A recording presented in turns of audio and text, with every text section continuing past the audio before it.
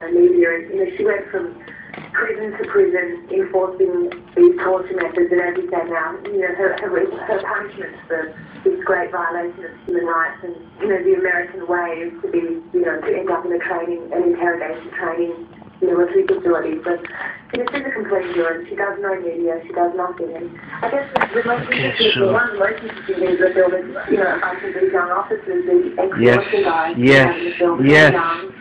I think Yes. fair to say a lot of them aren't overly educated and certainly weren't ah, educated Oh, in the one's the other one's not. situations where they were untrained interrogators. Why is that Some of one them had never stuck? come across this media Why is this weird stuck? what, that's what the higher ups wanted. And they were put into these incredible situations of stress, of fear of terrorism in America that, that, that, that was placed on their shoulders and that they had to get information in any by any means possible, often from innocent people who could be picked up in the fields of Afghanistan. And what's so interesting is we, we managed to get a number of these people to talk to us and.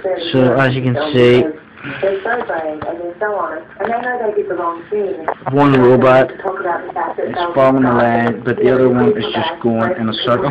Well, you also captured the essence, you also captured in the film the essence, and this is one we've always made for guests and witnesses that we've had on just in a radio format, that this was the White House and their technocrats seducing the military, seducing the public, really trying to sell us on the most barbarous forms uh, of uh, torture. And everything in your film is documented. In fact, I think it, I don't want to say it's soft, it's horrible, it's about as hardcore as it can get, but you know, reality is even several steps deeper and worse.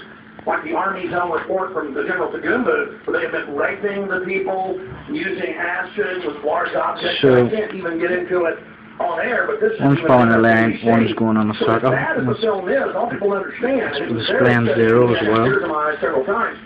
Studying this, studying torture for the last 10 years, knowing our government for decades has been training the world how to torture, uh, I think it makes the film even stronger that, you know, you guys, I know, could have even made it more hardcore, and these